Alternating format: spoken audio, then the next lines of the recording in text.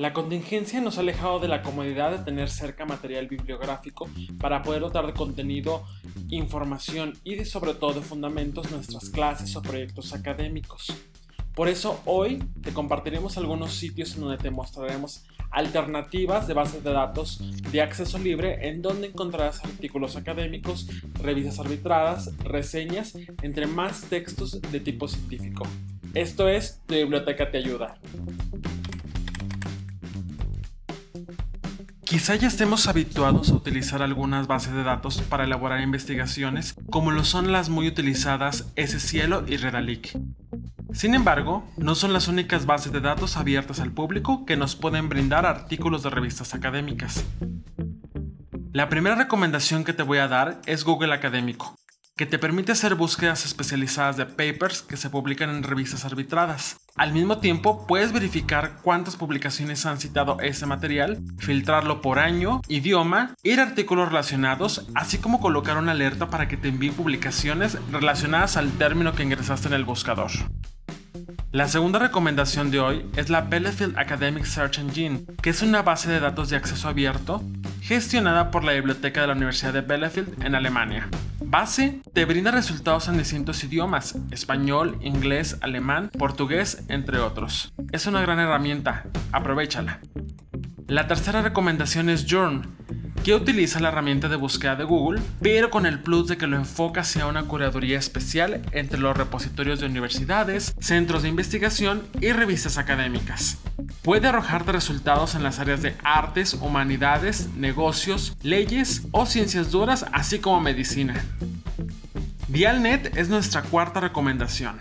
Este sitio es albergado por la Fundación Dialnet de España y alberga más de 6 millones de documentos, entre los que destacan revistas, resúmenes, tesis doctorales, libros, entre otros. Esta herramienta te permite hacer búsquedas por título o por revista, así como colocar filtros por tipo de documento, por materia o por rango de años. Te sugiero colocar el filtro de documento completo para que en prácticamente dos clics llegues al resultado deseado. Para los que no dominan del todo la lengua inglesa, nuestra quinta recomendación es ideal. Biblat es un portal especializado en revistas científicas y académicas publicadas en América Latina y el Caribe. Además de ofrecerte artículos de revistas de la región latinoamericana y caribeña, también te permite visualizar indicadores bibliométricos. Asimismo, te permite hacer búsquedas de revistas por país o por disciplina académica, lo cual te permite tener un panorama amplio sobre la producción desde un enfoque geolocalizado. Portal América es una iniciativa sostenida por la UNESCO, el Consejo Latinoamericano de Ciencias Sociales y la Red de Revistas Científicas de América Latina, el Caribe, España y Portugal, así como también recibe apoyo de diversas universidades latinoamericanas. Esta iniciativa busca privilegiar el conocimiento abierto sin fines de lucro, por lo que en esta base de datos puedes buscar por artículo, revista, título o autor.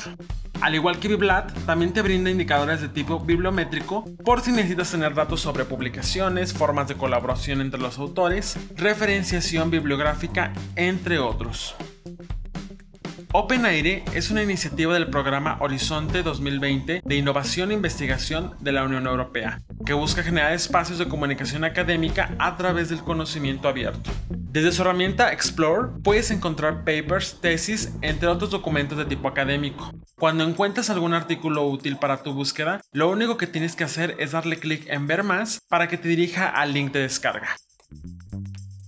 ERIC es un portal que es administrado e impulsado por el Instituto de Ciencias de la Educación del Departamento de Educación de los Estados Unidos. Es una plataforma que te permite encontrar artículos especializados en el área de la educación. Cuando recién entras al portal, puedes hacer tu búsqueda a partir de dos filtros, que el resultado sea de revisión por pares o que también esté para descarga directa desde esa plataforma. Sugiero colocar la segunda opción, con el fin de que puedas obtener de forma gratuita tu documento seleccionado y no te topes con el hecho de que tengas que pagar por un artículo en una, alguna revista que no es de acceso abierto. Hablando de repositorios, la primera sugerencia que te damos es buscar en el repositorio de la universidad más grande de América Latina, es decir, en la UNAM. En ese repositorio que cuenta con casi 3 millones de documentos, puedes hacer búsquedas dependiendo la entidad interna portante de la UNAM, el año de producción, el tipo de contenido, el área disciplinar, así como el hecho de buscarlo en algún subrepositorio especializado o de alguna otra institución con relación a la UNAM.